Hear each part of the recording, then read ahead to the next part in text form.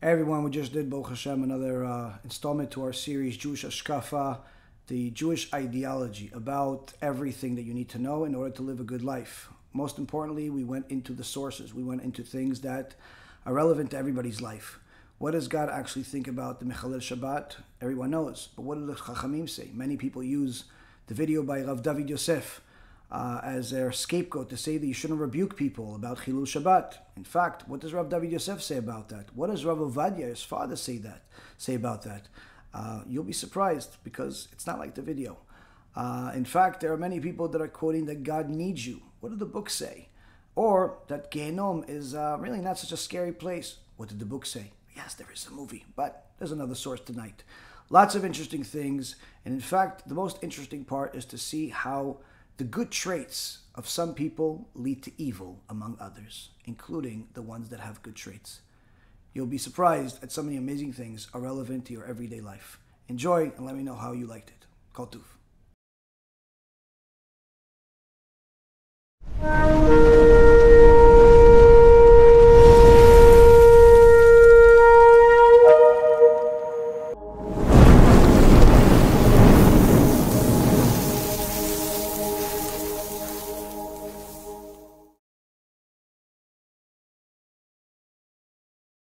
Hashem Hashem Naaseh v'Natzliach, Shiur Torah, Abayim.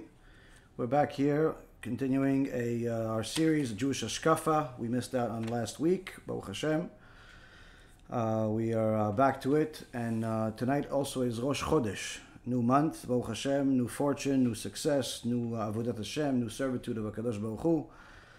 Tonight's shiur will be for the uh, Refuah Shlema for the uh, Rabbanit Sarah Bat uh, Levana Bat Sarah, Rav Ephraim Ben Shulamit, uh, Aurora, Serenity Bat Amalia, also for the Refuah Shlema for Avi Mori, David Ben Nesria, Imi Morati, Doris Bat Jora, and also for the Atzlacha Rabbah, for all of Am Yisrael and all the righteous Noahides, all the people that continue to watch us, support the organization Bezrat Hashem, where we're uh, working very hard, Baruch Hashem, to do many new things, to try to uh, cater to the public, try to do as much as possible to uh, help Am Yisrael, help the world see the truth about Hashem, see the truth about the Torah, and uh, run away from all the confusion that's out there, especially since the uh, evil inclination continues to produce much more material each day, sending new messengers to confuse people even more. And this is uh, part of the reason of why learning the uh, Jewish ashkafa, the Jewish ideology, is more important than ever today, simply because most people don't really understand what is the uh, Jewish ideology, even if they've been frum their whole life, they've been religious their whole life, they've uh, went to yeshiva, they went to a Jewish seminary, they uh, did a lot of different things, but uh, as soon as they start tuning into these lectures based on the teachings of the Chazon Ish and the other Chachamim that uh, we bring, uh, they're they're enamored. They're simply enamored. This is all new to them. You know, several people have told me over the last couple of weeks that even though they've been religious their whole life, uh, when they watch my lectures, they feel like they are they have to do tshuva. They have to uh, start learning everything anew. They didn't learn some of these basic teachings in yeshiva, in seminary, and Baruch Hashem that we have the merit to help Am Yisrael in all uh, from all spectrums, whether they're religious, Hasidish, Ashkenazi, Sephardi, uh, newly religious, religious their whole life, uh, and of course, you know all of the uh, righteous Noahides, the people that want to serve Hashem, either for the sake of converting to Judaism or for simply for the sake of being a righteous person in the world that could also acquire Olam Haba. Uh, so with that being said, we have Baruch Hashem a lot of uh, interesting information here, and uh, as you've seen perhaps from the uh, description to the lecture, we're starting a new section here in chapter four of the Chazon Ish Sefer Emunah V'Bitachon. Uh, and this is section 10 of, uh, of Emunah V'Bitachon, uh, section 10, chapter 4, uh, or say chapter, chapter 4, section 10. And here the Chazon Ish is beginning this section with a completely new insight that is as relevant today as it's ever been. In fact, it's more relevant today than it's ever been, where you see sometimes, and it's unfortunate to see it, good people do bad things. And not only good people do bad things, where sometimes you could find yourself, you know, having, uh, a, you know, developed good inclinations, whether it be generosity or it be humility or it be anything else that a person, you know, is, is, is good character, but that turn into something bad. And uh, this is one of the ways of the Yetzer Hara, one of the ways of the evil inclination to literally fool a person into a mitzvah, into a deed, into something that looks good, but in reality, he's doing the will of the Satan the whole time. And this is uh, unfortunately very common in the world today because we are in the end of days before Mashiach comes. Uh, because unlike the Christian church, we don't believe the Mashiach has come. The uh, the Jewish Mashiach has not come, and Bezrat Hashem will come very soon. But one of the uh, prophecies uh, that many of the sages discuss is that at the end of days, the uh, there's going to be an extraordinary amount of confusion out there, and one of the pillars of the confusion, one of the uh, sources, I should say, of confusion is going to be from the leadership. Uh, we reviewed this extensively in the series called Era of Mashiach by the book uh, of uh, Rav Elchanan Wasserman, Alav Shalom. He wrote it right before the Holocaust, and literally everything that he wrote has come true over the last 75 years. Mainly his significant section about the uh, the uh, wayward shepherds the evil shepherds that are misguiding the generation. And he's not talking about the evil shepherds only being the uh, Zionist government that wants to eliminate the Torah. He's not talking about just evil shepherds like the George Soros evil empire. No, no, he's also talking about the rabbinical shepherds that are sometimes misguiding the people unintentionally and sometimes, unfortunately, misguiding them intentionally. As we've discussed many times by exposing many of these evil shepherds whether they be rabbis or otherwise, uh, anytime they do things that are contrary to the Torah, anytime that they're misguiding people, part of our role in the world is to bring clarity, clarity from the Torah. And if that clarity means that we have to expose evil that's coming from anybody out there, then that's what we're going to do. And Baruch Hashem, it's helped quite a few people. So here, the Chazon Ish is now going to elaborate on how such a thing can happen, where a person can have good intentions, but his acts will lead to evil, even if that is yourself. Okay, even more so, the Chazon Ish is going to elaborate how the you know the evil will many times have good nature and good traits, and will actually bring people closer to his evil deeds, closer to his evil intentions, because of his good traits, you know, cute smile and uh, and jokes. This is unfortunately one of the things that we're seeing today, where every other day there's another person that is uh, creating a video that is trying to uh, take the Torah and put it upside down and call it no no this is really the uh, the understanding of the sages throughout all of the generations even though you can't find anything that he's saying quoted anywhere but needless to say these are some of the things we're going to discuss tonight Bezrat Hashem.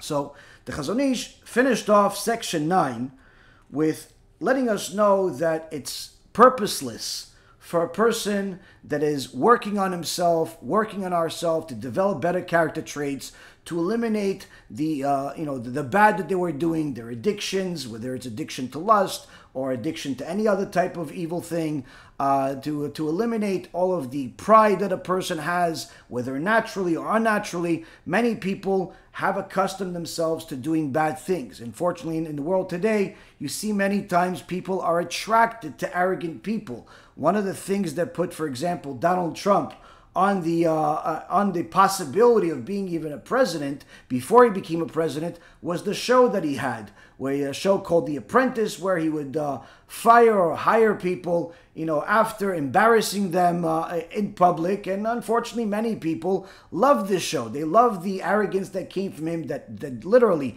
uh, came out of every word that came out of his mouth. They love the arrogance because they confuse the arrogance with confidence. And many times you see different speakers and leaders lead their uh, their uh, crew the same way, where they're telling people we're the best, we're this, but they take it a step further, where they simply destroy whoever is opposing them. So it's not just saying that they are good at what they do, but also whoever's not doing what we're doing is evil. Now, of course, when a person is looking in a mirror, how would they possibly know if they're in the same position? The only possible way is to compare themselves to what Akadosh Baruch Hu, their creator, has assigned for them, has obligated them. If what you're doing is in line with what the Torah says, you're going in, a, in the right direction, regardless of what anybody says. If you're going contrary to the Torah, then of course you're going against what Hashem said, and it does matter what everybody says if they're telling you that you actually have to change, and it does matter what everybody says if they're applauding you because you have to stop listening to them. So the Chazon Ish is now telling us here that it's very important for a person to pay attention to every single thing that he does, every single thing that she does, but don't put yourself in a situation where you're testing yourself. Why? It's not necessary. It's not necessary to put yourself in front of a test to see if you're going to look at that girl that's not your wife, if you're going to steal that thing that you know that belongs to somebody else, if you're going to do such and such. Don't put yourself in a test to see where you stand. Why? Because if you are being particular about following the law of the Torah, the test will come naturally. You won't have to put yourself into a test.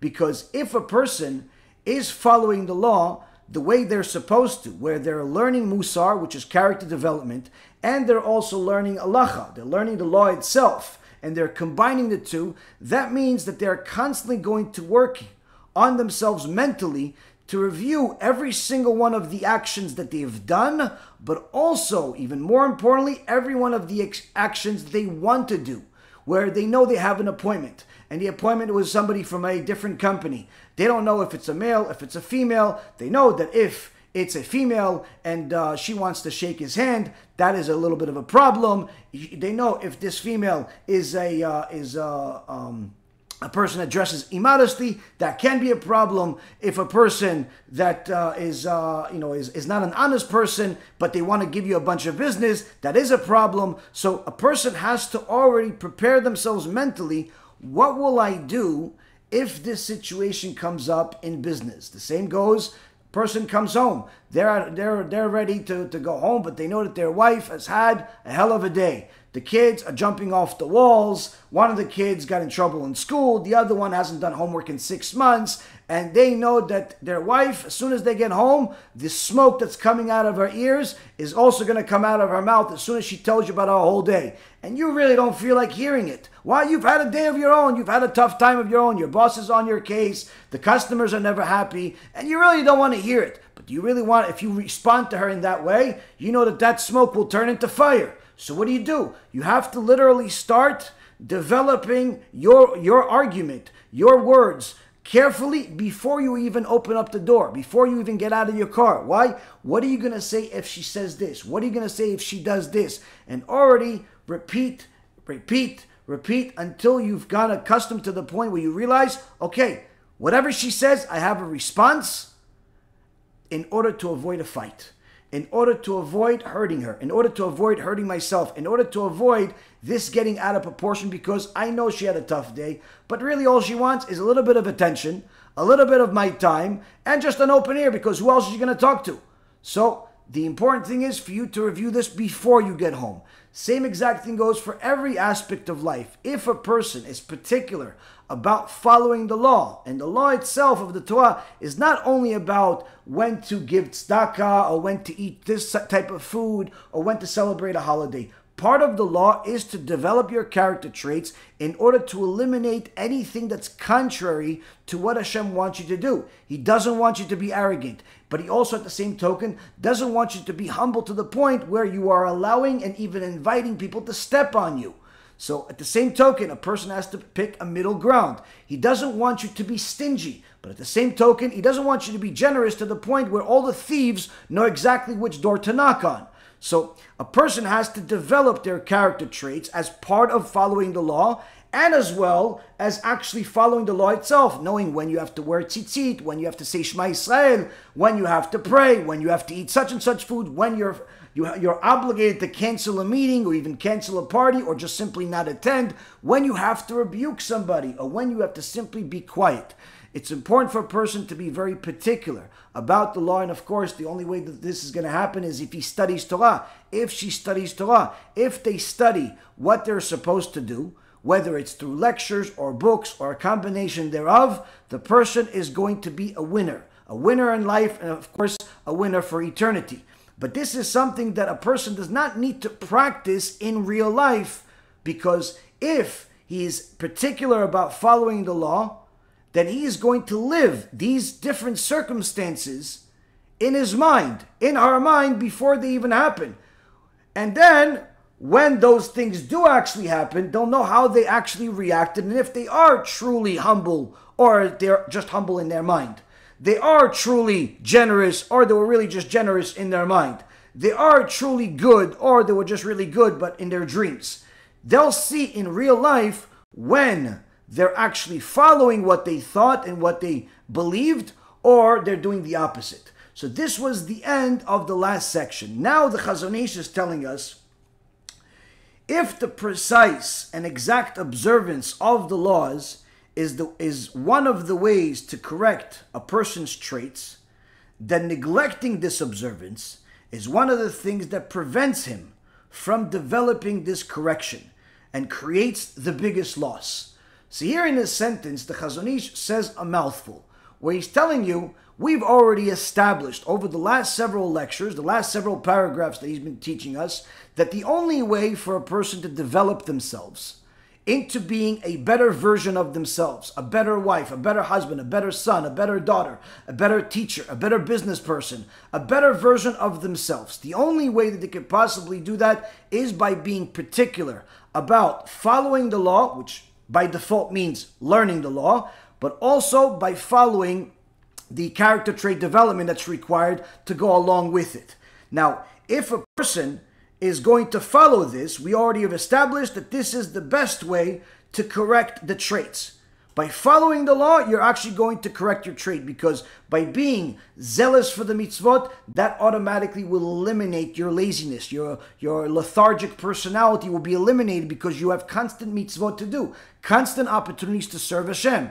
If a person is a uh, naturally inclined to do things that are the opposite of what people tell him, following the law will obviously straighten that out because you have to follow God or you have to go to Genom and face reality that you don't necessarily want to face. So a person that is following the law is naturally going to fix their character traits by following all of these mitzvot. And this is actually the reason why when Rabbi Chaim Volozhin asked uh, the Gaon Vilna, why is it that God gave us 613 laws, even though most of them are for the Bet HaMikdash, that unfortunately we don't have anymore and we have to wait for the Mashiach to build half of those 613 are particular to the Bet HaMikdash, part of them are particular to Kohanim, part of them are particular just to women, part of them just to men. The point being is that very few out of the 613 are actually relevant to any one particular person.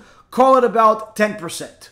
Now, out of all of these mitzvot, these Torah obligations, we don't necessarily find any one particular of them telling us that we have to develop our character traits. But yet, the teachings of the sages, Gaon Mivilna included, tell us that if a person does not develop himself, does not develop ourselves to be a better version of themselves, to eliminate the anger, the pride, the stinginess, and so on, then they were created for no reason, meaning they haven't completed their tikkun, they haven't completed their mission.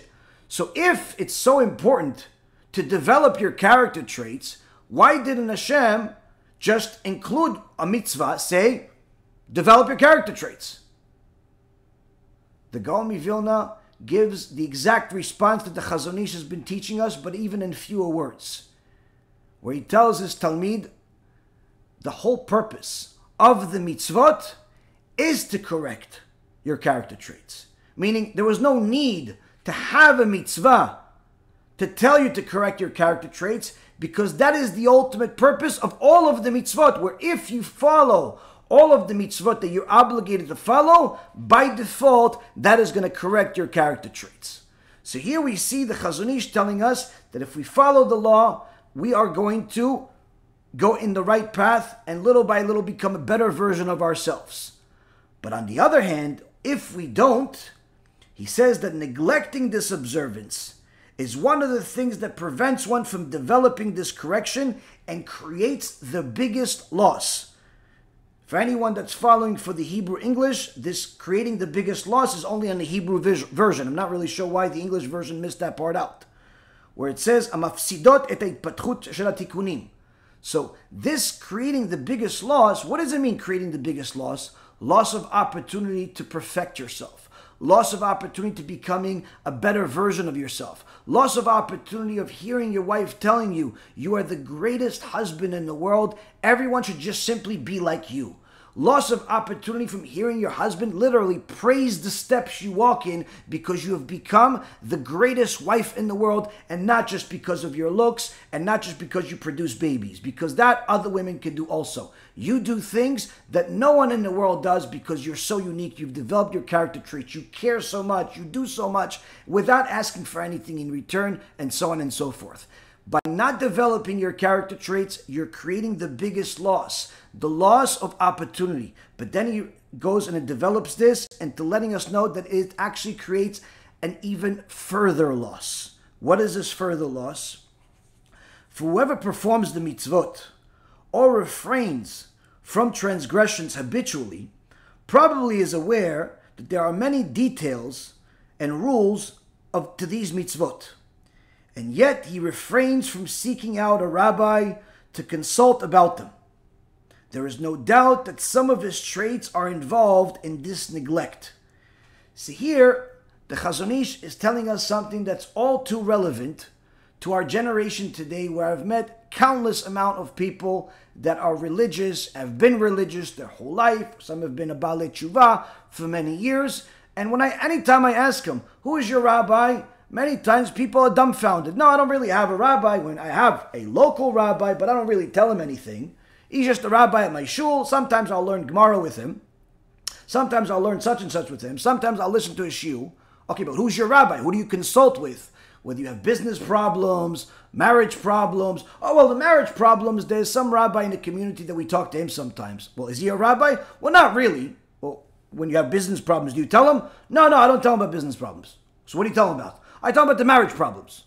Okay, so what about the business problems? Oh, business problems, usually I go to the lawyer. Oh, your lawyer is a rabbi? No. So how could your lawyer help your business problems? Well, if I need to sue somebody or I'm being sued, he can help me. What you do realize that if that lawyer doesn't know halacha, he could be the reason why you lose olam haba and go to Gehenom, right? Because just going with the civil law is not exactly the Jewish thing to do. Oh, no, I didn't know that. Well, perhaps you should ask a rabbi. And many times you see that people share specific information with some form of rabbi, but it's really not their rabbi. Why? They don't really know. They don't really have an answer. The Chazon Ish is going to give us the answer. They don't really have an answer of why. There are certain questions they ask the rabbi. If they, they uh, ask a question, listen, Rabbi, is, is it Rosh Chodesh today or is it tomorrow? Is the holiday, what time does the holiday start? Those questions they'll ask. Those questions they'll ask. Rabbi, uh, what time is Minyan? They'll ask those questions. Rabbi, uh, what do you think about the Brit Milah? Should we have it at the hall and spend like $25,000 or should we just do it at the synagogue and, uh, I don't know, maybe only, you know, donate like 500 bucks to the shul? What do you think I should do? Rabbi, uh, uh, what's the basic questions? They'll ask the rabbi.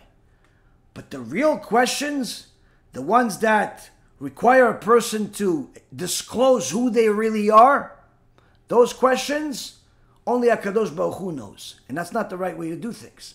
Why?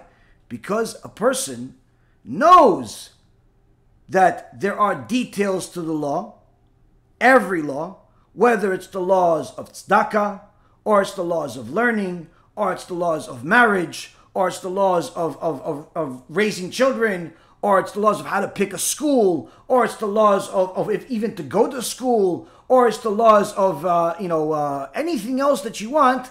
These things have laws. Now, a person that goes to a rabbi on a regular basis will always know what to do. It doesn't necessarily mean they'll do what they need to do. It just simply means they'll know right or wrong. And every person that is frum for a little while, that's religious for, for a little while, knows that there are not just general laws, but there are many, many particular details about every single thing. But yet, the average person, despite being aware that there are many details to these rules, they refrain from seeking out the chacham, the rabbi, to consult about them. Why? Why would they? St- why would they refrain from doing so? The Chazon Ish elaborates. He says there is no doubt that some of his traits are involved in this neglect. So here the Chazon Ish is telling us the real reason. Why do most people not have a rabbi? And I don't mean just somebody to put on their shidduch resume that if anybody has any questions, they can call them, even though the rabbi only knows their name and what school they attended and perhaps what family they belong to. Other than that, the rabbi doesn't really know much about this person unless they got into a lot of trouble and the whole community knows. Generally speaking, the rabbi doesn't know much about the marriage, doesn't know about the, uh, the kids, doesn't know much about anything. But yet, they have no problem telling people, yeah, that's my rabbi. But truth be told, most rabbis don't know.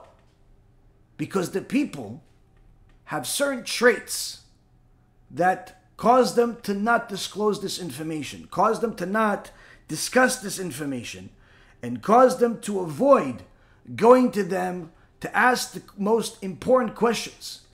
You know, people are always keen on asking the rabbis about what time the holiday begins and when is Shabbat and whether they should, uh, you know, have Seudah Shlishit at home or at their in laws. Those types of questions they have. But if it's a big business deal, not so much. If it's a uh, lawsuit potential, not so much. Possible divorce, only after it's too late. One of the kids is off the derech, only once he's off the derech, far enough where you've lost hope yourself.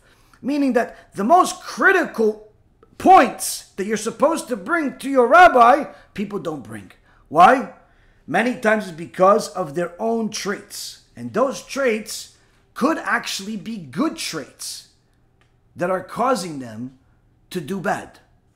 Such as, for example, the common trait that people use, which is listen, we all know that the rabbi is busy. Rabbi's busy. On top of him being busy helping the community, I don't want him to waste his time on my little problems. It's bitul Torah for him. So you know what? I'll figure it out myself. I'll figure it out myself. I'll read a book. I'll meditate. You know, I'll ask a few friends. I don't want the rabbi to, you know, sin because of me, bitul Torah. All of a sudden, she's concerned about the rabbi's bitul Torah. But when it was time to naming the baby or what time is minyan start, all these other things, no one really cares about the uh, the rabbi's uh, uh, time. The meaningless things, the minor things, no one has any concern about the rabbi's time. Big things, all of a sudden everyone's concerned about the rabbi being so busy. There's a very uh, well known story about Rabbi Elyashiv. Alav Shalom. Rabbi Elyashiv was known to be not only a extraordinary chacham and matmid, but also he did whatever he could to help the community. And everyone knew he would wake up in the middle of the night, somewhere around 2 o'clock in the morning, and begin his study session. Only after a few hours of sleep. And uh, one time, the Rav is already approaching 100 years old almost, and he is up at 2 o'clock in the morning learning, and all of a sudden, someone knocking on the door. Now, he had some family members staying with him to take care of the rabbi, and of course, they had to be around for, for when he was up. So they hear a knock on the door. Who's going to knock at 2 o'clock in the morning at anybody's house? Needless to say, at Rabbi Elyashiv's house. They figured it must be pikuach nefesh, life risk. Somebody needs to, you know, have a question answered. Perhaps somebody's life's on the line. Somebody uh, needs to be released from prison, or uh, you know, somebody has to decide whether to uh, pull the plug, not pull the plug. Something, you know, something extreme. They open the door and they see this guy sweating bullets. I, I need, I need to speak to the Rav. I need to speak to the Rav right away. Said, okay, sure, sure. Hold on a second. We see, oh, the Rav is already at his Gemara. It's 2 o'clock in the morning. He's already started. We'll get to him in a second. Oh, they bring the guy in. The guy sits down. And of course, the family is curious. What does he want at 2 o'clock in the morning, this guy? Rabbi Elyashiv sits with him and says, Yes. What can I do for you? And he says, Kvod Rav, something really important right now. What do I name the baby? If I don't want to name him, one of the names in the Torah. This is the question that requires two o'clock in the morning attention. Rabbi Elyashiv didn't think twice. He figured the baby was born, and perhaps he chose a name that's different than his wife, or his wife chose a name different than him that's causing some marriage problems. In order to create peace within a home, no problem, 2 o'clock in the morning. So Rabbi Elyashiv says, well, you know, one of the names of the Avot in the Tanakh is very good. Yeah, but what if I don't want someone in, it, in the Torah? What about the Tanakh? Tanakh has many other names. You know, the Nevi'im, the Ktuvim, David, you know, you have Shaul. No, no, no. What, what, if what if I don't I don't want that either? Okay, well, the, the, oral Torah has, the Gemara has many fantastic names. You have Abaye, Rava, Rav, Rav Chisda. These are also good names you can name the boy. Now, what about uh, not there either? What if I wanted to call him and he comes up with some strange name? And Rabbi Elyashiv says, nah, I don't, you shouldn't do that. What about this one? Nah, this one. And they go back and forth 10 minutes. 10 minutes of Rabbi Elyashiv's time Trust me when I tell you, that was like a world. But he gave the guy because he figured he is saving a home right now. After 10 minutes of going back and forth, the guy then says, But for the Rav, what if it's not going to be a boy that's born? What if it's a girl? What do I name him then? Now here, anybody with, with, with normal midot would lose their mind. Why? Are you kidding me? You tell me that the kid wasn't even born yet? and you're already knocking on my door at 2 o'clock in the morning, breaking my head over here, trying to come up with a name because you don't want to name them after the names of the holy people in, the, in, our, in our Torah, and it's not even it's not even born, it's not even relevant. Rav um, Elyashiv thought the baby's born is going to be a Brit Milah perhaps even tomorrow. It's the seventh day already, eight days tomorrow. You know, it's relevant. This guy, 2 o'clock in the morning, apparently there's no concern whatsoever to the Bitul Torah of Rav Elyashiv. Needless to say, your average rabbi out there. No one is concerned about their Bitul Torah, them wasting time. Why? Because that particular question is a question I'm comfortable asking the rabbi, and he can help me. But what about if it wasn't naming a baby? What about if you just found out that uh, your partner is uh, stealing from you? What if you just uh, your partner found out that you're stealing from him? Would you come to the rabbi? Would you go then? Say what you really did? Or would you say, nah, you know what, let me just figure it out? Better yet, you're really hungry. You're in a new area, and you see there's a uh, Jewish restaurant. Looks good. You come inside, shawarma, burgers, all the good stuff. All right, want to eat? Wait, hold on a second. The rabbi told me check the kashrut. And you see on a wall pictures of tzaddikim, pictures of righteous people, but you don't see a certificate of kashrut. The guy behind the counter looks religious. He's got a kippah, even a little stubble on his face. The kashrut, not so much. Not really sure. Should I ask the rabbi if he knows this place? Maybe I should call the rabbi. What if the rabbi doesn't answer? He's busy. All of a sudden, you care about whether the rabbi is busy. Do you know why you care about if the rabbi is busy? Because you know that if the rabbi doesn't answer the phone, that means you can't eat there. That means you can't eat there. If he doesn't answer the phone, not if he answers the phone, and he tells you it's okay, then you can eat. But what if he answers the phone and says no? Then you know you can't eat. But what if he doesn't answer the phone? Then you're still not sure. Well, maybe he would have said yes. Maybe he knows this guy. Maybe this is Talmud. Maybe this, maybe that. So what does the guy figure out? You know what? He's religious. I can trust him. The guy's, a, you know, he's a hundred. He looks like he was uh, born in Mount Sinai. Look, he's got a kippah and everything. You know who's talking? Your belly's talking. Your belly's talking, not your good inclination, not your mind. All of a sudden, you could trust the guy. Would you trust the guy with a million dollar loan? Would you trust the guy to fund his business? Not so much. Why? Because now you have to check. But all of a sudden, you figured that since you're hungry, the rabbi may not answer the phone, so you know what? You could just trust this religious guy. And that is the logic of the evil inclination. To tell you that uh, perhaps, perhaps you can skip, you can skip uh, ask, asking the rabbi. Another uh, example is a business transaction. This is perhaps even more common. Somebody comes to you and says, "Listen, I uh, I have a business opportunity for you. You can make ton of money, fifty percent on your money, hundred percent on your money. Oh, great. I like making 50%, 100% of my money. What do I got to do? What do I sign up? And he tells you all this mumbo jumbo business deal. And you figure, yeah, this sounds good. Wait, but over there, how, how do you actually make the money though? Ah, don't worry about that. That, we have a guy that's a specialist. He works for the government and he knows exactly how to get the government to send us the money. Wait, wait.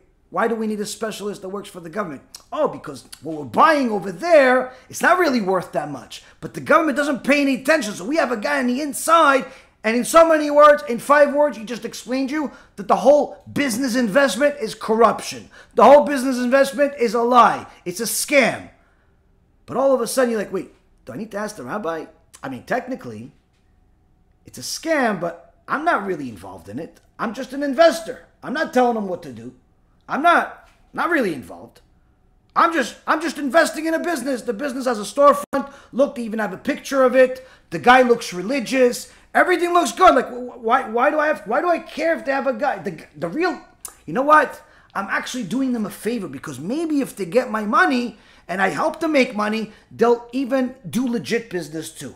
And he starts justifying all of this stuff. You know why?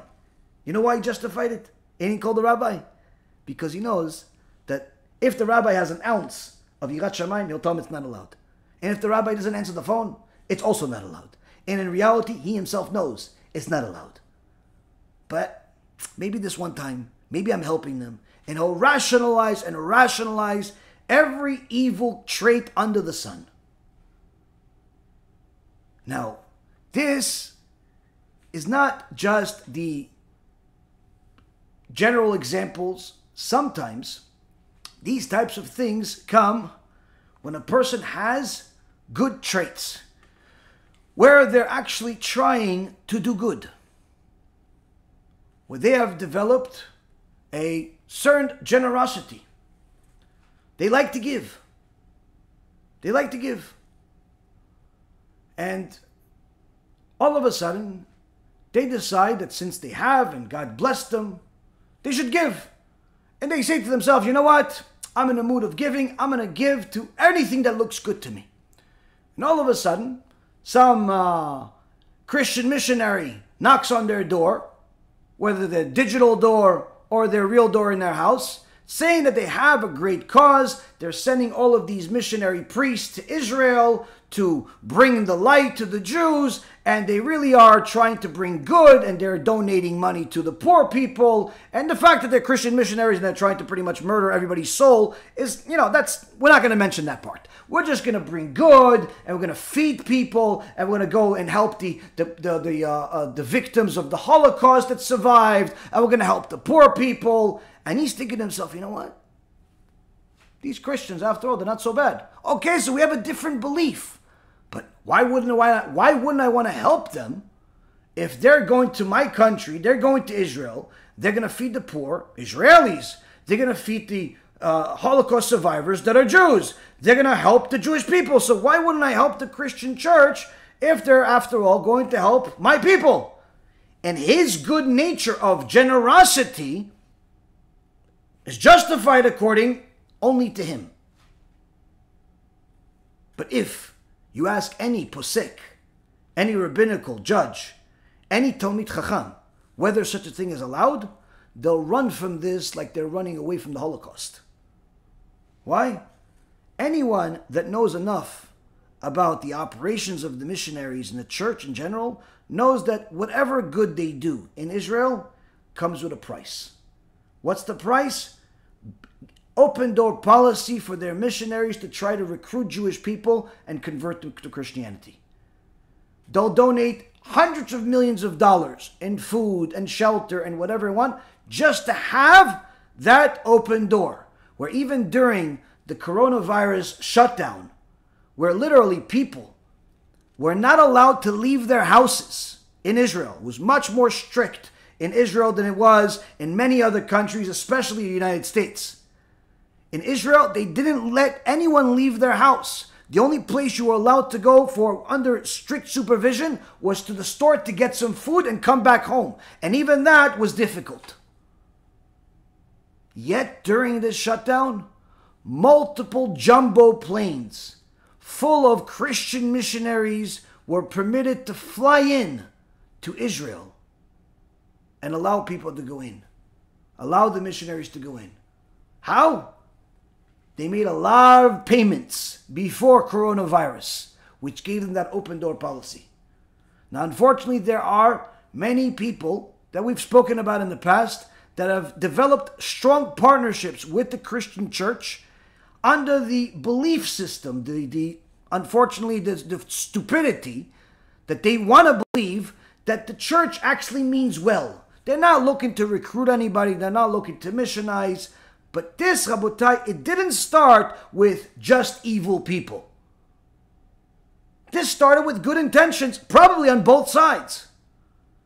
The church, some of the people there, weren't really looking to missionize. They actually wanted to help the Jewish people because part of their belief system is to help the Jews. Now, of course, the leaders and many of their you know little uh, tentacles that they have within the huge organizations their complete their agenda is completely different their whole goal is to capitalize on this partnership capitalize on this multi-million dollar investment and go and have this uh, missionizing door to door, building churches and all types of institutions to missionize to children, to missionize to adults, to missionize to the uh, the poor, to missionize to the disabled, to missionize everywhere, of course. But some of the people that were part of the organization weren't really looking for that. They actually genuinely wanted to help the Jewish people. Same concept goes with some of the rabbinical figures, some of the Jewish figures that said, you know what? Listen, there's a lot of poor people. Everyone knows there's at least a million children in Israel, according to the statistic of about almost maybe seven, eight years ago. A million children in Eretz Israel don't know the, the Shema Israel, but also don't have to go, go to sleep hungry.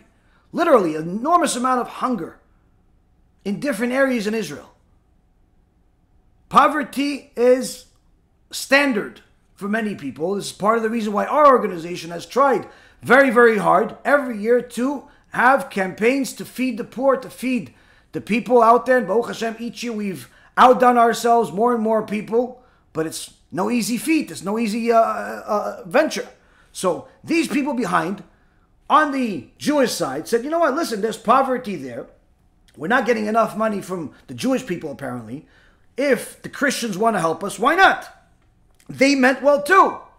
Now, of course, some of the people on that side too said, listen, what do you guys want to donate? 50 million? Okay, I could broker that deal. Under the condition. What's the condition? I get a 5, maybe 7% commission. Let's just call it 10. So it's round. Nobody forgets. And this guy gets a commission, and that guy gets a commission. By the time it gets to the poor people, maybe 10% is left. But the guy that, you know, in there somewhere, that good guy that actually wanted to help the good people, has no idea that these evil people behind it are brokering the deals and selling it to that one and selling to that one. And there's also some uh, some uh, dotted lines that somebody signed that said open door policy everywhere. He doesn't know. He meant well. So his generosity, his desire to help led to evil. Why? Because he didn't follow the law. He rather followed his own intuition, his own inclination, his own desire to do good. And the Chazon Ish tells us, you have to understand, your desire to do good is not always going to lead to good. Because sometimes that desire to do good is coming from the Sitra Achra. It's coming from the Yetzer the evil inclination. He's going to lead you to do a mitzvah for his sake. For his sake. He's going to tell you, now you don't need to bother the rabbi, he's too busy. Why? For his sake. For the Satan's sake. Don't uh, don't worry about all these people telling you not to do business with the uh, idol worshippers. They mean well for his sake. Don't worry about inviting the missionaries to your uh, to your synagogue, even though the rabbi said it's not allowed, even though Beit Din said it's not allowed, even though everyone says it's not allowed. Don't listen to anybody. Why? Because they mean well. They they they're good speakers for AIPAC. And the Jewish Federation loves them. And ignore the halacha, ignore the law. And unfortunately, Rabotai, those good traits end up with evil outcomes. Now, the Chazon Ish says that there is no doubt that some of his traits are involved in this neglect, where sometimes a person will simply be too proud to call the rabbi. Too proud. Why? He figures, listen, the rabbi is smart. I'm smart too. The rabbi studies. I study too. The rabbi has the books. I have the books too. So why should I bother the rabbi? Why don't I just read the books, figure out what to do, and I'll do that? That pride is going to be his footsteps to Gehenom many times. Why? Who said you understood it well? Who said you understood it correctly? Now, the Chazon Ish elaborates further and says the habit of going along with one's natural tendencies in oppositions to moral obligations strengthens the sitra achra, the other side. Here, the Chazon Ish gives us a little bit insight into a unknown secret about him. Many people in the Litvish Ashkenazi world have shied away from the teachings of Kabbalah since Shabtai Tzvi. Caused a disaster, a false messiah, a lot of problems in, in the world. And even though Shabtai Tzvi himself was uh, Sephardic, the most amount of damage that he caused was in the Ashkenazi world. And many other machlokets, till this day, there's uh, problems from the outcomes of, of his evil actions. And many Ashkenazim have actually shied away from the world of Kabbalah, mysticism, but of course, a select few have delved very, very deep into it. One of them was the Leshem. The Leshem was the grandfather of Rav Elyashiv. Leshem was Rav Shlomo Elyashiv. He was a huge Mekubal, one of the greatest Kabbalists of his age. And one of his Talmidim was a Sandlar Kadosh. Sandlar Kadosh's name was Rab Yosef Rabikov. And he was an extraordinary tzaddik that Rav Kook actually said in a conversation to uh, Rav Aryeh Levin that certainly the Sandlar Kadosh is one of the 36 holy tzaddikim that the whole world stands on in his time. The Gemara tells us that any given time there are 36 hidden tzaddikim that the world exists because of them. And the Sandlar was one of them. He was a big Mekubal, a Kabbalist, but had the image of a simple man. He had like a shoe, shoe repair. And in fact, uh, just a few years ago, maybe uh, three, four years ago, some of his repair tools and a kamea that uh, was a kamea for uh, to help uh, women that uh, had difficulty giving birth or getting pregnant was sold in a auction for for a pretty penny. Anyway, the Sandlar Kadosh was an extraordinary mekubal, a tzaddik, and the Chazon Ish was one of his talmidim. So even though the Chazon Ish, alacha, alacha, alacha, and musar and everything, he also was actually himself a huge mekubal. Many people don't know the Chazon Ish was a mekubal. And he delved into the teachings of Kabbalah, the, the stuff, the mystical parts, the things that many people shied away from because, again, it's not for everybody. Now, this Sandlar also had a uh, Giluy Eliyahu, where Eliyahu Navi came to him and it was even publicized in a newspaper at the time. So the Chazon Ish tried to get the Sandlar Kadosh to tell everybody who he is, and other Talmidei Chachamim that studied with him also wanted him to tell people who he is, but he shied away from it. Still, he got enough attention where everyone knew that he is uh, an extraordinarily holy man. But uh, no one understood how great he was other than his Talmidim, one of them being the Chazon Ish. And the Chazon Ish here is telling us, in between the lines, that the greatest loss that a person will experience as a result of counting on their own natural tendencies against the moral obligations, against their obligations in the Torah, counting on their intuition, counting on their own logic.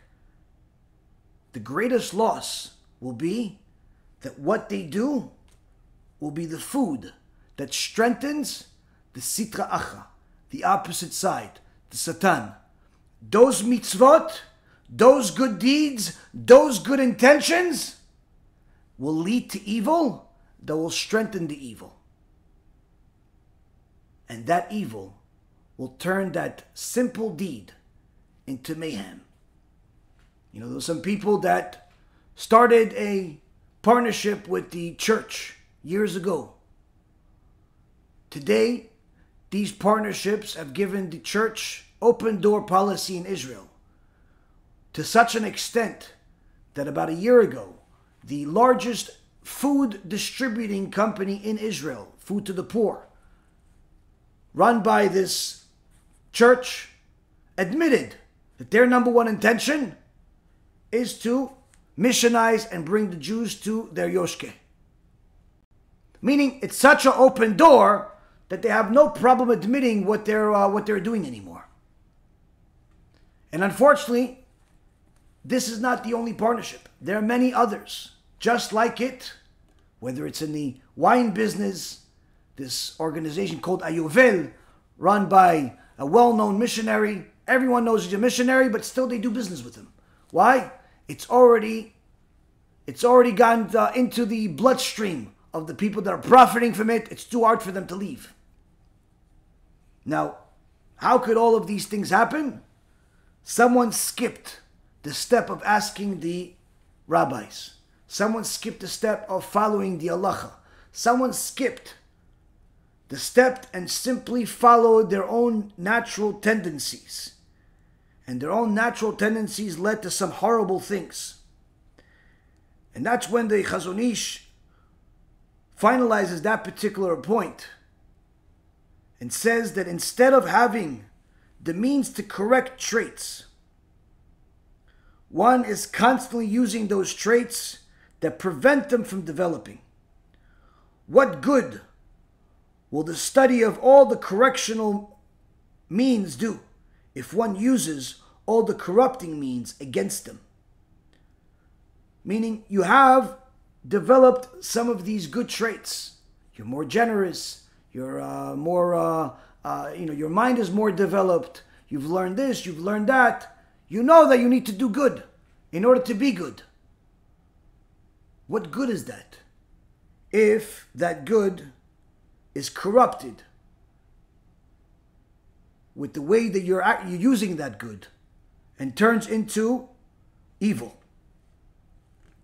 Now, a person may not think that what he or she is doing is evil until they see the outcome.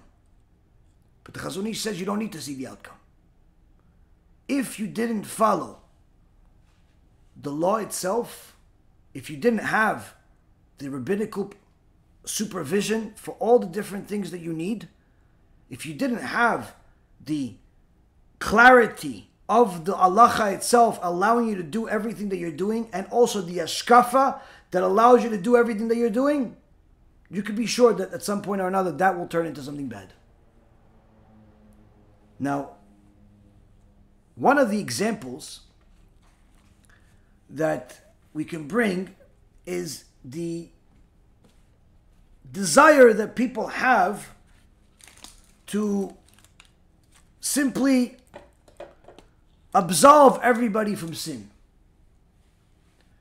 In today's world, very few rabbis in the English speaking world tell people the truth about what happens to people after they die.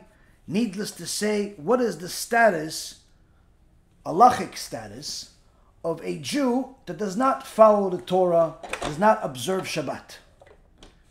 Why don't they tell people? Because they're not comfortable or they simply don't want to. Now, when somebody is approached about this and they're a rabbi, he told him, listen, you have a synagogue over here, 30 years, 40 years, but yet the majority of the kehillah still drives on Shabbat. The majority of the kehillah still doesn't observe Shabbat. You have 150 people, not even 10 of them are observing Shabbat, means you don't even have a minyan. And unfortunately, many times the rabbis will tell people, no, no, you don't really understand. You don't really know. You don't this, you don't that. Now, this is bad enough. The worst part is that these rabbis today, because of the media, because of YouTube and Torah Anytime and all the other uh, places where people can watch rabbis speak, these rabbis can always find somebody to uh, support whatever nonsense they came up with. And one of the places that, uh, let's just say, worked hard to get our attention, worked hard to try to uh, tell people not to listen to us, celebrated, celebrated when they saw a clip, a video clip by Rav David Yosef, the son of Rav Ovadia, tell a story where he said when he was younger, they were walking in the street, him and his father, Rav Ovadia, the family, and they saw some secular Jew driving by, and he stopped right next to them. And he said, Hey, which way to go to such and such place? And Rav David Yosef, still a young man, a little zealous, said to him, That way to Gehenom, or something like that. Now, after he did that, the guy obviously didn't like what he said and drove away. Rav Ovadia rebuked him. That's not how you talk to people. So from that clip, and if I could find it, I'll put this clip on this uh, on this video for people to watch when they see this video again. I was a little child. I remember I was going with my father back from the synagogue home, Shabbat. Shabbat, 11 o'clock in the morning, we were walking in Jerusalem. Suddenly, a car stopped next to me. And the driver, Jewish, asked me, This street is going to where? I told him to where? Directly to Gehinnom. so everybody was laughing, but my father, wow, he was very, very angry. He told me, why, why, why did you do that? Why did you say that? What do you think? He heard he's going to Gehinnom, he will get panicked, he will stop driving, he will make teshuvah. No, the opposite. He will hate the religion because of you. This is a way to talk to people, to tell him, you are going to Gehinnom. And I'm telling you, Rabotai, if we try to make Baalei Teshuvah, to tell them you are going to Gehinnom, Reshaim, Hashem will kill you, Hashem will burn you, you will be. Uh, what will happen? Zero. No one Baal Teshuvah. That was the way that Noah was walking. What he told people. You are going to die. Hashem is going to kill you. It will be flood. You will die. Yeah. Eh? Who cares about him? He is not normal, people thought. So, if we want to make Baalei Tshuva, it's like Hashem told Noah. You had to have tears. He was crying. Hashem told him, If you cried before, I will not bring the flood. It means if you cry, if he was crying, people would listen to him. And so, no reason to have the flood. From that clip, multiple organizations celebrated as if the son of Rav Ovadia just gave permission for everyone to desecrate Shabbat, for everyone to never talk about Gehenom, for everyone to simply never rebuke for everyone to simply don't say anything. Let them do whatever they want. They're all tinok shenishba. They're all captured babies. They don't know any better.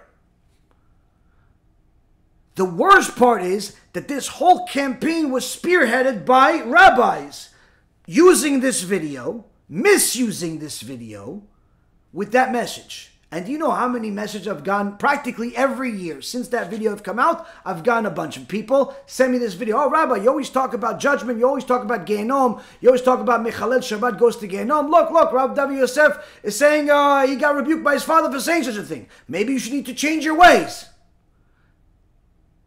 My rabbi such and such said I should send this to you, is what I get sometimes. Now, of course, we don't change the Torah just because of videos. Needless to say, we don't learn the Torah from a short video. We learn Torah from the books. And anyone that would have learned Torah from the books would have simply said, You misunderstood the story. Now, I already knew the story, and I knew that they misunderstood the story, so the story did nothing for me. I already knew the story, and I knew what Rav Ovadia meant, which is, yes, you need to rebuke, but not that way. Not that way. The guy is telling you, where can I go? Why don't you tell the guy, listen, come out here, let's talk outside. Maybe you could uh, uh, observe Shabbat, perhaps invite him for lunch. Well, you know what? Instead of going there, come with us sweet talk him, try to get him out of the situation that he's in, or at the very least, invite him to a shiur Torah. Do something. Don't just attack the guy with something that he can do nothing with. You're telling the guy he's going to home and that's it? He doesn't even know why. Maybe the guy doesn't know why. Look, that's just not a good response. Don't talk to people that way. Sure, a person that desecrates Shabbat is going to go to Gehenom. But if you're going to say that, only say it after you gave some context of why. That's what Rav Ovadia meant. Not don't mention Gehenom and everybody's allowed to desecrate Shabbat. But of course, the heretics, the Reshaim, that run some of these organizations, love this clip and love misusing it. Because it's in English. And they love to mislead the English speaking public. Well, my dear English speaking public, you're fortunate enough to have Rav Ovadia actually write many books. And if you learn from his books, you'll see he has the answer. Not only does he have the answer, but he even has Rav David Yosef quoted in it. In his famous Yabia Omer, in the 10th Perek, the 10th uh, volume, in Orach Chaim, Siman Nun Hey, Ot Yud Aleph, the Rav Ovadia elaborates on the point of whether a person, a Jew, that desecrates Shabbat, such as driving on Shabbat, smoking cigarettes on Shabbat, uh, working on Shabbat, and the like, is he considered a goy lechol davar? If he's considered an idol worshiper, according to all opinions, just like the Rambam, Paskins in Hilchot Shabbat, uh, chapter 30, halacha number 15, uh, or like many of the ones that he mentions here. Is he considered an idol worshiper according to all opinions? And he starts off this by saying, bringing the sources. Anyone that read any of the work by Rav Ovadia knows that you're never going to be short on sources. Literally, an endless amount of sources. Everything is reviewed, both the supporting opinion and the contrary opinion. And he starts off by saying, what the Ben Ish Chai wrote about how someone, a Jew that desecrates Shabbat, befaresia, in public, cannot be counted in a minyan, just like it was written in the Pri Megadim. He cannot be counted for a kedusha. You cannot say kaddish with him and, and consider his amen. And this is also what the Shulchan Aruch said in uh, Siman Nun Hey in Seif uh, Yud Aleph. Also, the uh, Bet Yosef, same exact thing. Also, the uh, uh, Chafetz Chaim.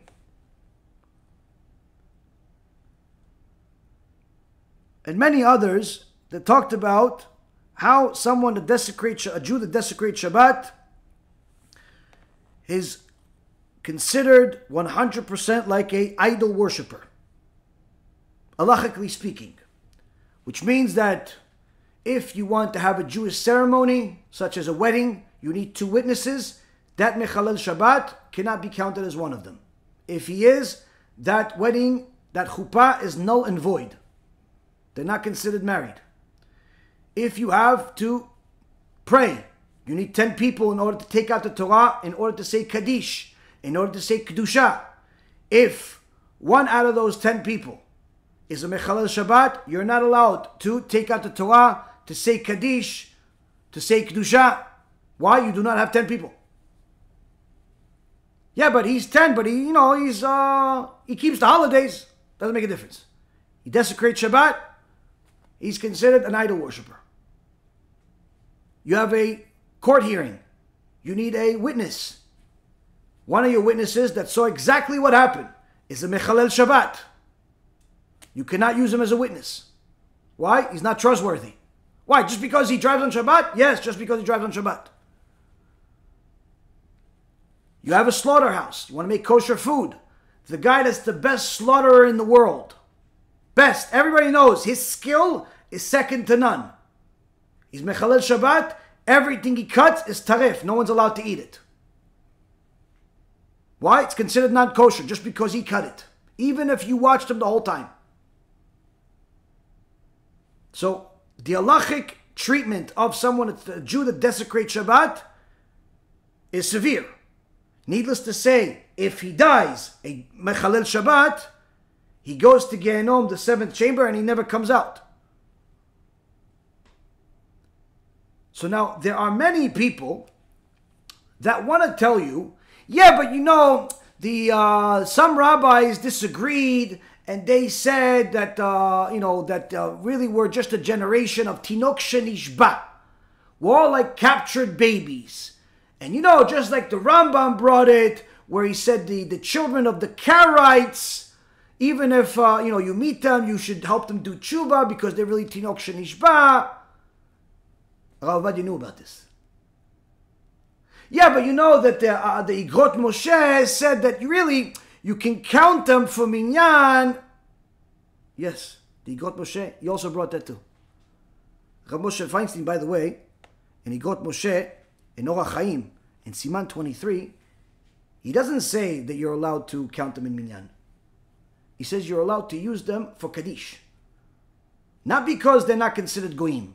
Not because they're not considered idol worshippers. No.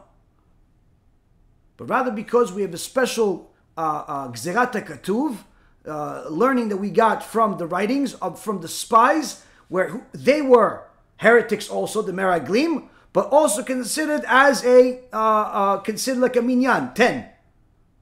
So the Rav Moshe Feinstein says from there we know that even heretics can complete a quorum of ten. Rav Tzion Shaul doesn't agree with this, and he says no, the uh, spies weren't really considered heretics according to all opinions, and that means that you cannot really use that as a uh, source to say that you can't use Mechalel Shabbat uh, uh, as part of the minyan. Therefore, no. But needless to say, he, Rav Moshe Feinstein still says that a Mechalel Shabbat is considered an idol worship according to all opinions. He doesn't change that part. You still can't use them as a witness. You can't, still can't use them as a, uh, a slaughterer or anything like that. He just wanted to be lenient on one aspect based on this teaching, but many disagreed with him. But of course, anyone that didn't learn the books will say anything they want to say, as if Rav Moshe Feinstein said that everybody's a Tinok Shenishba, and everybody could get an aliyah, and everybody could be uh, the Chazan even. But he didn't say that. And even if you want to find somebody said, yeah, but uh, they said that uh, we're Tinok Shenishba, we're a captured baby, so maybe that's the case. So first, the Rav says, look at how many poskim have mentioned how a Mechalel Shabbat is considered 100% an idol worshiper. If he's a Jew, he desecrates Shabbat on purpose, he drives on Shabbat, uh, not to go save a life. Simply on a regular basis, he drives to the mall, he drives to the synagogue, he drives to work, wherever he does. He's considered Mechalel Shabbat, he's considered 100% idol worshiper. Once he does tshuva, he's considered 100% a Jew, and he can fix all of those sins from the past. But until then, you cannot use him for those special Jewish ceremonies.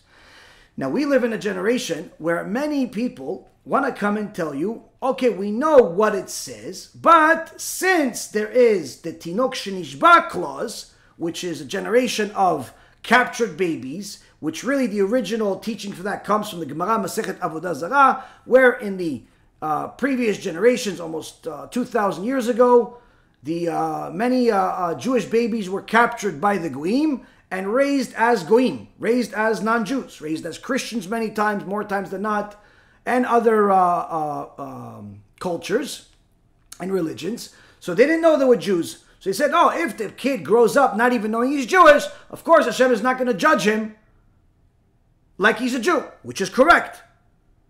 But then they want to take that teaching and say that this is the same thing as people today who didn't grow up religious, or they simply grew up uh, not going to a religious school. They went to public school like I did. And um, since they didn't grow up religious, their fathers are not rabbis, their mothers are not rebbitzins, uh, and they simply have too many desires. They lived in the world. Because of that, they should all be considered also the same thing as a captured baby from 1500, 2000 years ago.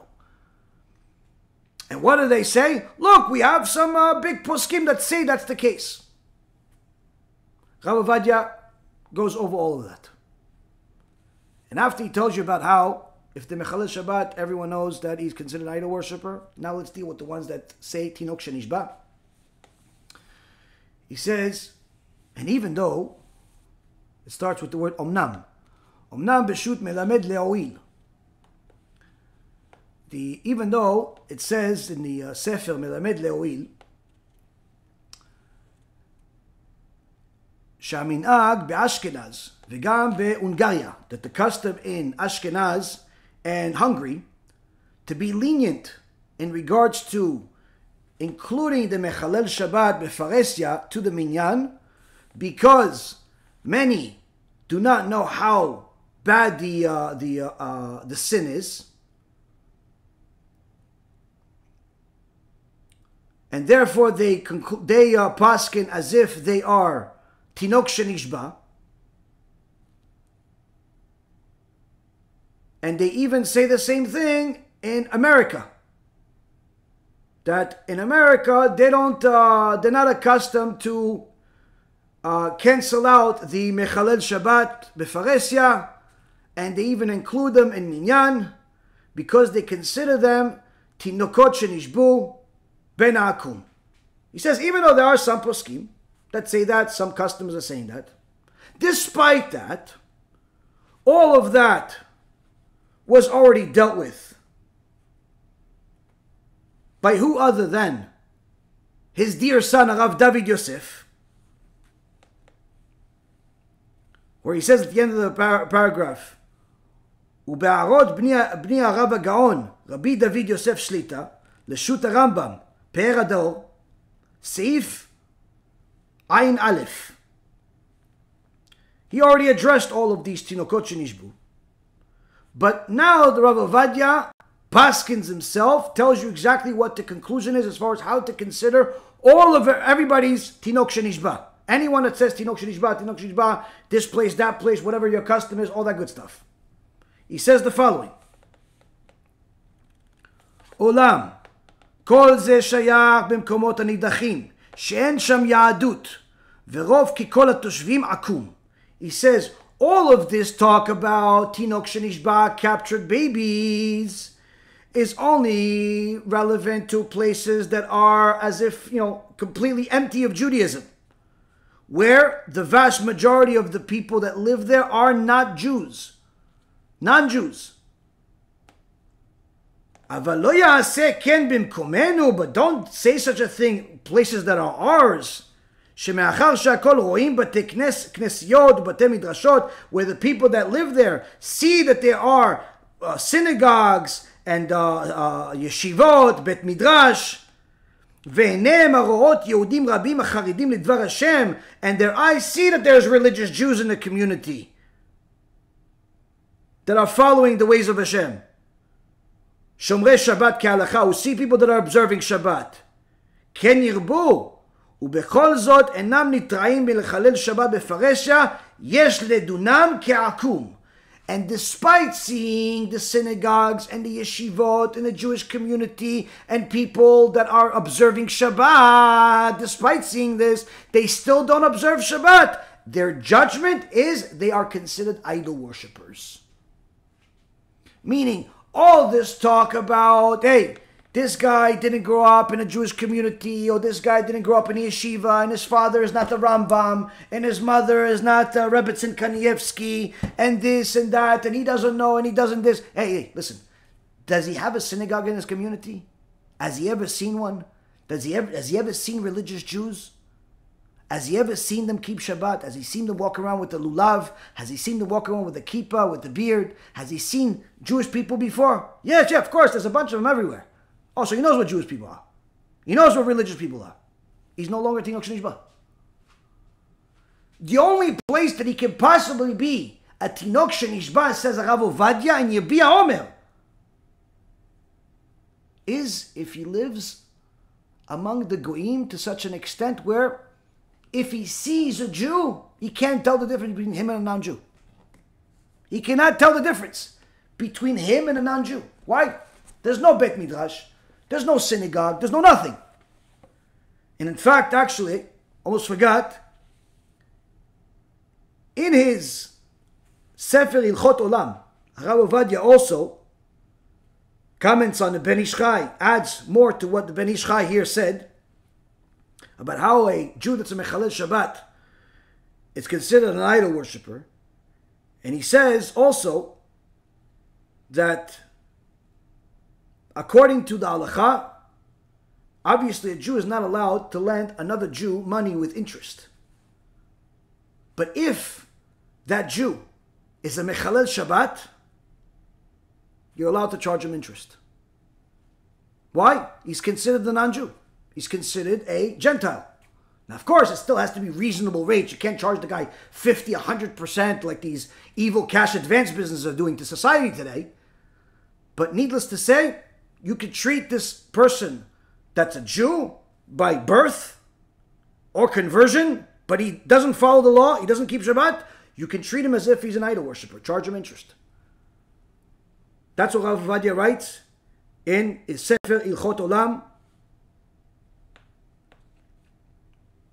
in Chelek Chet, Amud Vav. In fact, our own Rosh Kolel in Eretz Yisrael, Rav Shlomo Sharvit. Bezrat Hashem, we're going to be publishing his Sefer very soon. He's a Gaon, Dayan, genius. He's coming out with a Sefer, Bezrat Hashem. And he paskins with endless amount of sources that in fact a case that came to him at the Beit Din, somebody, a Jew that was a Mechalel Shabbat, lent money to another Jew that observes mitzvot. The Mechalel Shabbat died. He died. Now, whatever is his, the uh, the family inherits. The kids, whatever, inherit. Now, one of the things that this person that died had was that he had a loan that he gave to a Torah observant Jew. So the Torah observant Jew came to the Beit Din and asked, do I have to give money to his family that I owed him? Psak halacha, you don't have to give money back. Why? The Mechalel Shabbat. It's considered as if he lost it, and you don't. You're not obligated to return something that was lost by a idol worshiper. This is Rabotai, a clarification of what halacha is. Now you're going to have many people say, wait, that's not nice. You're going to push them away. No, no, no, Habibi. By telling people the truth, it's not pushing them away. It's letting them know where they stand. As, as Rav Ephraim says, be like a doctor. When it comes to talking to people, be like a doctor. A doctor has to do things that are uncomfortable. You show up at the doctor. Something hurts. What does the doctor tell you? Get undressed. Get undressed. Now, if you have an ounce of modesty in you, you don't want to get undressed in front of strange people. Who wants to get undressed? Worse yet, he tells you to get undressed and get into strange positions. Move your leg this way, move your arm that way. Let me see here. He starts touching this, touching that. It's uncomfortable. Why is he doing this to me? Because he's trying to save your life. Same concept here, Rav Ephraim says. Same concept here, needless to say, even more so here. Yes, telling people that a Mechalel Shabbat is considered an idol worshiper is not comfortable. But if it's going to save their life once they know where they stand, then obviously this is a great chesed that you're doing for them. But yet you will find many, many organizations and rabbis tell people that, hey, don't tell people that the Mechalel Shabbat goes to Gehenom forever. Don't tell them that. You're going to turn them off. How do you turn off something that's not even on? I don't know. You look at their success ratio of how many people they actually help do tshuva. If they got to 10 after 25 years, it's an achievement in their standards. I once spoke to a rabbi like this when I was in Canada. He was proud of the fact that in, uh, I think it was 20 years or so, that he was doing Kiruv, he helped like 10 people become Torah observant. He thought it was an achievement. Yes, saving 10 people is great, but 20 years? It's not even one per year. You're supposed to do that, you could do that today, 10 per day, if you're active enough and honest enough. And Baruch Hashem, thousands and thousands of people are following the truth. But yet they're going to tell you that, but but you're too strong. You're telling them about Gehenom. Maybe maybe they don't know. Maybe this. Maybe that. And they're going to argue with me about Gehenom. Now, of course, we made a whole movie about anyone that wants to learn about Gehenom. But as I told you last week, there's a few so-called rabbis that have taken on the initiative to try to disprove the video. How do you disprove 172 Torah sources? I'm not sure, but apparently they're trying, so we're just going to give them another one. Now, many people will tell you, listen, yes, we know that there is reward and punishment, and we know that there's Gehenom, but it's not so bad, like you say, as if I make this stuff up. It's just embarrassment. It's just uncomfortable. Let's see. This week's parasha, Parashat Bo. Go to Midrash Rabbah. Parashat Tetvav. Always provide sources because it's the only way you know that we have something to stand on. Akadosh Baruch Hu gives us some clarifications about the creation. And says the following. ובו ביום ברא גיהנום. The, uh, oh, so it says, משברא רקיע ברא מלכים ביום השני. This is all based on the commentary on the Tehillim, on, on Psalms 104 4, that says he makes winds his messengers, the flaming fire is attendants. So from the section that says flaming fire is attendants, the Midrash says there's a lot to learn from here. Where it says, after Hashem created the firmament, he created the angels on the second day of creation. Why did he create the angels on the second day? Why, why the second day? So people don't confuse that if he created them on the first day, that they were actually partners in creation. But what's the connection of angels and uh, this verse? It says that the uh, his attendants are the angels, meaning that Hashem transforms the angels into winds and into fire at his will. So the Midrash says, for this verse is also interpreted to mean he turns his angels into winds, his attendants into flaming fire. And what is a uh, Hashem making flaming fire as attendants? What is uh, what's elaborate on that? It says on that very day that Hashem created Gehenom, the flaming fire that serves as attendants, meaning the flaming fire is referring to the fire of Gehenom.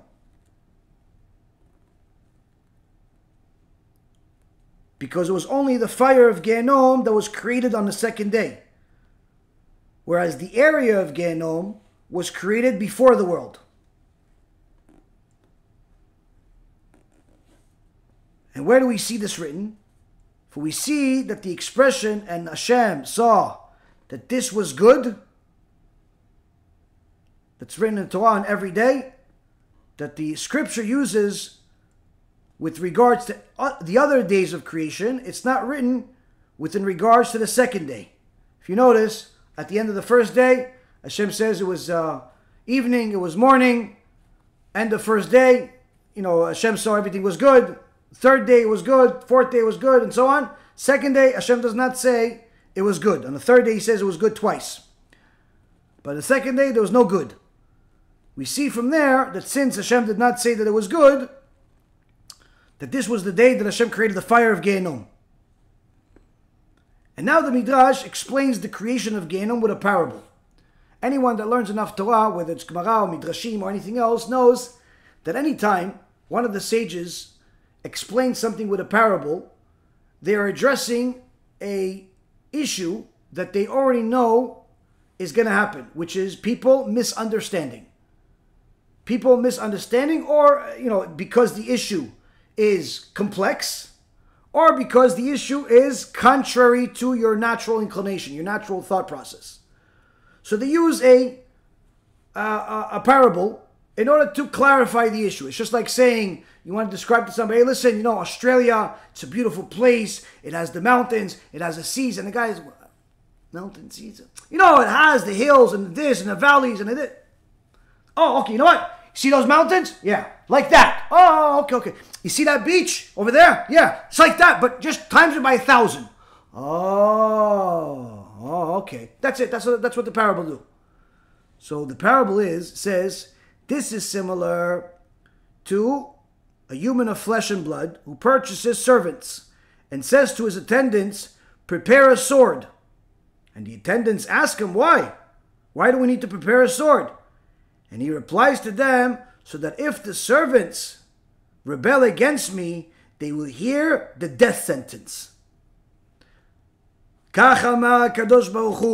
Similarly, the Holy One, blessed is He, said, I am creating Gehenom, regarding which it is not written that it was good, so that if people sin, they will descend into it. In so many words, why did Hashem say fire? Why does Hashem specifically not put the word good? Why all this stuff? So people know if they sin, there's a place of fire, there's a place of judgment, there's a place where a person will suffer endlessly if necessary. Now, the Midrash asks another question and says, Where do we know that Gehenom was created on the second day of creation? Maybe it was created a different day. It says, We have this also from the, the uh, uh, prophets tell us, one of the sources is Isaiah chapter 30, verse 33, where the prophet says in the name of Hashem, for tafteh, meaning Gehenom, is a, tafteh is one of the names of Gehenom. Tafteh is the, comes from the word of um, uh, pitui. Pitui, like a uh, someone was seduced, seduced into a sin. For tafteh has been prepared from yesterday. This is uh, Isaiah chapter 30, verse 33. So, meaning that Gehenom has been prepared from a day during which a person can say yesterday, but not the day before yesterday. So, from there we know when a person is able to say yesterday, the first time a person can say yesterday is the second day of creation. Now, he can say yesterday on the third, the fourth, and the fifth, and the sixth day, and any other day. But the first time he can say yesterday is the second day of creation. And he cannot say that on the first day of creation because there wasn't yesterday on the first day of creation. So here, the literally every little word, every little word in the Torah is analyzed with a microscope, thereby allowing us to have all the confidence in the world to know what the truth is and fight for it. So when people tell you, no, I think the maximum judgment is 12 months, there's answers that say otherwise. Not just logical answers, but outright scriptural answers. Go to Parashat Korach, Parashat Korach outright says that Korach and his followers are in Gehenom until this day. That's obviously more than a year has passed since Korach sinned. 3,334 years, he's still in Gehenom. In fact, the Gemara that was written about 1,500 years ago, one of the Chachamim went by in the desert when one of the uh, Arab people over there showed him exactly where he hears screaming from the ground. He went over there, he heard Korach speak, screaming out, Moshe is emet, the Torah is emet, and we are liars. 2,000 years after the punishment, he's still in Gehenom screaming. So obviously we know that judgment is not for a year and it's just uncomfortable and all this mumbo jumbo that people make up. Why do they make it up? Because they don't want to scare you. Because maybe maybe you're you're, you're too you're too uh, you're too innocent to be scared. Maybe you're you're too small to be scared. You're like an infant. 49 year old infant, 50 year old infant, 25 year old infant. What about the fact that they like to watch scary movies and are willing to pay hundreds of millions of dollars just to produce scary movies because the public consumes them like Tic Tacs? Yeah, but maybe they don't like to be scared. What about the fact that the most popular games in the world today are shooting games where people are killing people? Yeah, but maybe they don't like to be scared. What about the fact that the most common games today in sports are violent games? Yeah, but they don't like violence. What about the fact that the most popular movies are action movies that have endless violence? For that, no one says anything. But the punishment that Akadosh Baruch Hu decreed and said, I need to have this Gehenom. And I need my children to know about Gehenom. Why? Once they know that Gehenom exists and what it entails and who goes there, that will at least slow them down when it comes to their sins. If not stop their sins altogether. But yeah, you have these wicked people that call themselves rabbis that will minimize judgment, minimize Gehenom, minimize the truth. Why? Because they want good for you. They don't want to scare you. The truth is that fear is the number one, number one thing that drives people to do what they do. People get married because fear of being alone. People get a job, fear of, of poverty. People drive the speed limit, fear of getting a ticket, losing their license, getting into accidents. People eat healthy because of fear of getting sick and dying. The number one driving force of why people make decisions is fear. But yet, the evil inclination, the Satan himself has convinced an entire generation of rabbis to not speak fear. Why? They don't want to scare people. They want them to love God. Sure, love God all you want, but you still need to be afraid of Him. Because love in itself is not going to stop you from committing all the heinous crimes that people commit. Now, the next part that people are being poisoned by today is telling you this heretical thought process that God needs you. This, of course, was spearheaded by Manis Friedman, Imach and now he has little minions that have followed the footsteps, doing the same exact thing, some of them taking it to a different avenue altogether, saying, God needs you and God loves everybody, and even starting to say things against the Torah. One guy made even a video saying that uh, Ishmael was really good, he was Baal Chesed, even though it's exactly the opposite of what the Torah says, what the Zohar says, what the Gemara says, what Chazal say. This guy decided that Ishmael was good. He was Baal Chesed, he was great. Another guy decides to say, no, no, God needs you. It's not really heretical because we're not really talking about the real ultimate God. We're talking about parts of it. Listen, you ask any questions, you say, is there any sources on this thing? No, no, yeah, there's no, no, yeah, yo, no. Is there a source? They start throwing book titles at you. Oh, yeah, if you look at the Shlah Kadosh and you look at uh, this one and that one, that's not a source has a page number. A source has clarification. They just throw names at you as if this is all little pamphlets. Give a page number, give a specific verse, give anything. But they don't have that. What do they have? Insults. Ah, you don't know what you're talking about. Maybe you need to go to a real rabbi and ask him because obviously you don't understand. I'm not, maybe I don't understand. All I'm asking you for is can you give me the book with a page number of what, who says what you said? You said God needs you, right? Give me a book that says what you said. A book, one book. Give it to me. What do they give you? Insults. Public insults.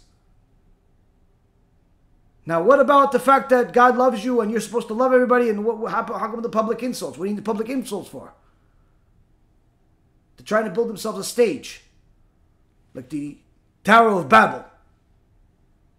But you see, Rabotai, I've given you many sources about how there's no such thing as God needs you. And even those that want to think that God benefits from anything that we do, like when it says in our prayer, give oz la Hashem, give uh, uh, a uh, power to Hashem. That's not because Hashem needs it. Is that when you glorify His name, His name is recognized by more people. It's not because He needs to be glorified. This is not coming from a need or lacking. It's just that your purpose is to glorify His name. It's not that He needs it or benefits from you glorifying His name. You benefit. You are fulfilling your purpose as of doing it. And that's why one of the Rishonim, a thousand years ago, the Rabbeinu Bachye, writes clearly in Shaar HaBitachon, this precedes any of the sources, any of these heretics said, says clearly, one should be conscious of God's abundant goodness to man, how? In his great kindness and grace he raised him on this good, without his deserving and not out of any need to do so, but rather as a gift, a favor, and a grace. Here, Rabbeinu Bachye says in Shaar HaBitachon, Perek Gimel, the sixth uh, uh, section, that as far as the creation, God creating you, in very simple Hebrew, English, and I'm sure if it was translated to Cantonese, also in that language, God does not need you. He will never need you. He created you purely as a gift for your benefit. If you can give me one source, not 10, because we've provided dozens, one source that says a statement as clear as this to the contrary, you got yourself some type of leg to stand on with these bold statements. But do they? No. What do they have? Insults and the appearance that they mean well. The appearance that they're trying to benefit the public by giving them the truth, to benefit the public, to make them feel good that the mighty God needs them. What kind of God needs his creation? He's not a God if he needs you. Who's going to serve a needy God? If you act needy, your own wife doesn't want you. If you act needy, your husband doesn't need you. Nobody wants to, to be next to a needy person.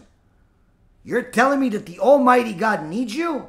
And they say it with such zeal and such confidence that the audience just eats it up. Like Oreo cookies, kosher for Pesach. Why? They don't know any better. The rabbi said it, I believe it. This is why Rav Elchanan Wasserman said, don't trust the shepherds, trust the sources. Trust the Torah itself, what it says. Somebody says something to you, doesn't sound good, doesn't sound kosher, even if it does sound kosher, even if it does sound good. What's the source? Give me the page number. Give me show me this in a book. Let me check what you said with some other rabbis. Let me see if they agree with you. No, no, let me call them. I'll talk to them for you. No, no, no. I'll do it. I'm a grown up. I can go do it myself. Just tell me the source. Tell me the page number. Oh no, maybe they won't understand. Wait, for if it's so clear, how come you're the only one that ever said it? How come you're the only one that understands it? What you're telling me that the Rambam, Ramban, uh, uh, Rabbeinu Bachye, the Vilna Gaon, the Arizal, uh, the the uh, the Shlah. Nobody understands until you came to the world. Nobody understands. Rav Ovadia doesn't understand. It's kind of strange. They've toiled in Torah for the last few thousand years, and then and you came and you understood something that's such a fundamental part of Judaism. But that's the thing, Rabotai. The Chazon Ish tells us that sometimes the bad shepherd doesn't mean bad. He means good. He wants you to like God. He wants you to connect to God. So what does he do? He humanizes him. That's what they did in Christianity. And that's what they did in many other religions. They humanize God. They make him something similar to you. Flawed like you, weak like you, minimized like you. They figure that if he's like you, you'll like him. Because people tend to like people like them. So they mean well. But that well leads to drowning. That well leads to evil. That well leads to idolatry. That well leads to worshiping a foreign God. It does not lead to serving God.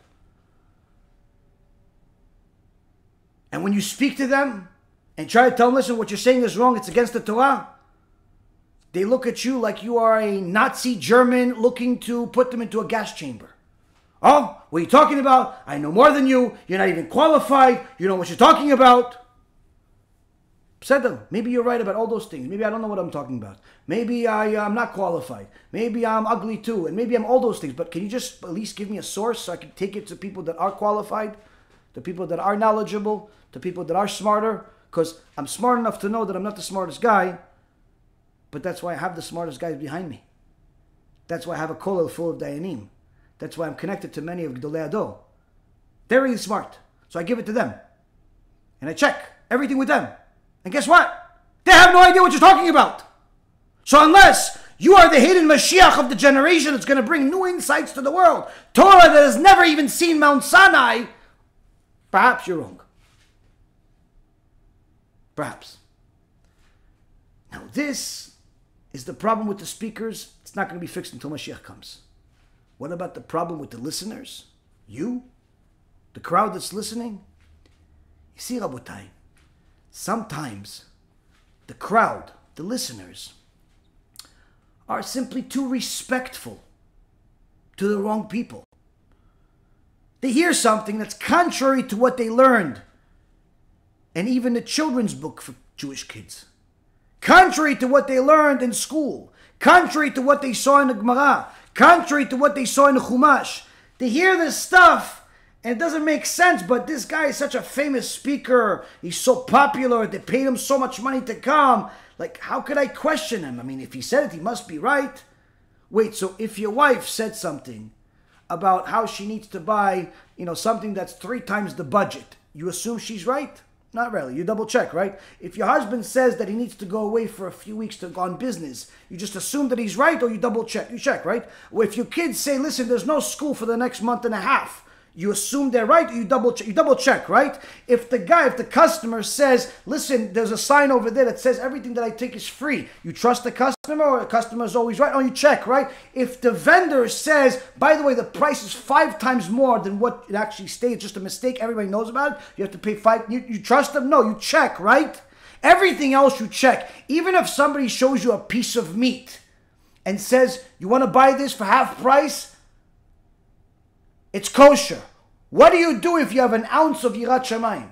You check. You double check. But for some reason or another, in today's world, if some speaker with or without a beard claims to be a rabbi, claims to be knowledgeable, tells you something completely foreign to Torah, completely foreign to any rabbi that has any understanding of a Torah, and he says this is what it says, what do people do? Do they check? Do they double check? More times than not, they do nothing. Why? They're being nice, they're being cordial, they're being respectful. Now, if you were nice, cordial, and respectful, and you simply eliminated everything you heard and let it go from one ear out the other and didn't take it into your life, perhaps that's something that a person can justify to a certain extent, especially if there's many people there and you're not in a position of any uh, uh, any scholarship to rebuke the guy and debate him. But what do people do? They hear what the guy says. They don't even care if there's a source. They like it. He just told me that I'm allowed to sin and continue violating Shabbat because nobody goes to Gehenom more than a year, and quite frankly, everyone's going to Gehenom. Why? Because everybody sins at least once. So if the maximum sentence is 12 months for everybody, so it doesn't make a difference if I keep anything or I don't keep anything. Maximum sentence is 12 months anyway, so I might as well just continue being a sinner. And if he says that God needs me, then the next time before I do a mitzvah, I say, God, I'm going to do this, but on the condition of if you give me this, this, and this. I'm going to start giving God conditions. Why? Because He needs me. He needs me. And the next time we hear about Gehenom, of course, I'm going to say, oh, this is uh, Christianity, this is not even Judaism, and, and start mocking the 13 principles of faith. They believe the nonsense without double checking, without triple checking. Yet, vaccine that's out there, people have more information about it than I think they have about their own children. The economy, people know more, know more about it than they know literally about the, their own family lineage. Politics, people know more about that than they know about their entire community or any part of their community. They know more about that than they know about even their own profession. Everything else, people double check. But when it comes to Torah, it's either people have an opinion that they feel like it's the same thing as Mount Sinai, or they simply just believe somebody else's opinion, somebody else's made up words, without double checking. The says the power of the negative is greater than that of the power of the positive, for the negative forces came first, and the obligation to change came second. So, all of those traits that are leading a person to not double check, all of those traits that are leading a person to not double check with their rabbi, not to ask the rabbi because they suddenly are concerned about his time, suddenly concerned about his honor, suddenly concerned about anyone else other than themselves. Those traits are not going to lead you to any place good. Why? Because as a result of all of that, you're going to make many more sins and feed the sitra achra. Feed the evil side that will make that evil side more powerful, not only against you, to cause you to sin even further and get further from the truth, but it's going to cause others as well. And the reason why the Chazon Ish says that the negative forces came first is because the prophet Job says let the hollow man acquire heart. Let one who who's like a wild ass be reborn as a man. This is a famous verse that everyone is familiar with, at least part of it. Uh, uh, that the uh, a person is born like a wild ass, their uh, animal instinct of a person meaning that initially a person is born only with the evil inclination, and only after some time does the good inclination develop. So while a person thinks that, oh yeah, but I'll use my good inclination that I have in order to do good, and even if I do some evil, it'll balance itself out. The Chazon says no. The evil inclination came first. The damage that it causes is much more severe than the benefit of your good inclination, of the good things that you do. And a person needs to make sure to look at every one of their actions, double check everything, especially the things that are most sensitive business transactions, different arrangements, partnerships decisions, all the things that are critical to your life, not just the simple stuff that's easy to discuss. Double check if you're going in the right direction. Because if you live your life without double checking this stuff, Hashem says, prepare yourself for the sword. And he didn't prepare the sword for you to see it. He prepared it just to scare you, so you don't have to see it. Don't be foolish enough to test him. BeEzrat Hashem, this too will give each and every single one of us the strength and wherewithal to overcome our weaknesses, overcome our own evil traits that are sometimes looked as good overcome the confusion that's being dispersed out there in the public, even from rabbinical figures and rabbinical organizations. They all mean well, but none of them are going to help you when you go up to Shamayim. The only one that's going to be able to help you are the angels that you create as a result of the good that you do in accordance to the Torah, not in accordance to their imagination or yours. BeEzrat Hashem, we all create many, many good angels as a result of a lot of Torah and a lot of good deeds. We'll see each other again later this week.